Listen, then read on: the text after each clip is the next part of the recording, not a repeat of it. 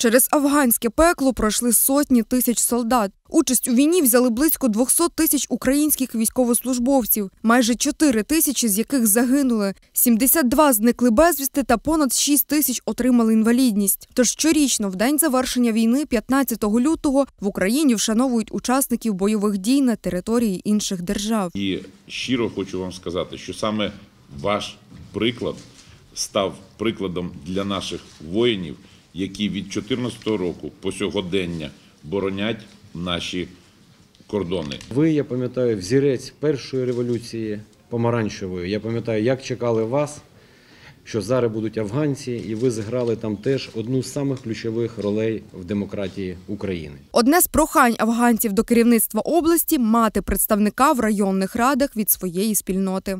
Ми повинні з вами всі ну, попрацювати, що спільно з керівництвом своїх ОТГ, з керівництвом з нових районних рад, районних адміністрацій, вони ж будуть призначені, так же Віталій Маркович, районними радами, щоб ми зробили, привели свої статутні документи у відповідність до буде до чинного закону. Це одне із головних питань. Ветеранів привітали зі святом, нагородили подяками та вручили подарунки. Ми разом виконуємо всі обов'язки. Не рахуємо, що це афганець та атовець.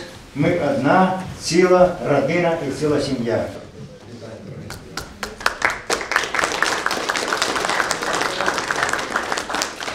Ну і Дякую вам, вітаю вас. Щиро вам дякую.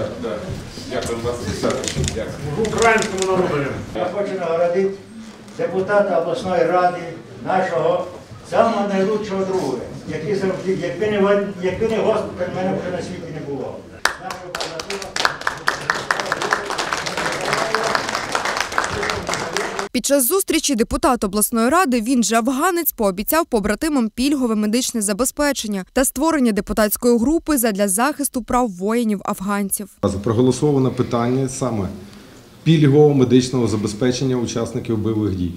Щоб ви це просто знали. На ближній сесії ці всі рішення будуть е, воплощені в життя.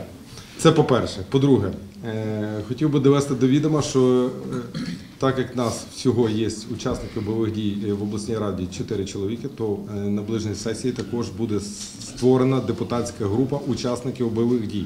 Вікторія Гнатюк, Олексій Черко, телеканал СК 1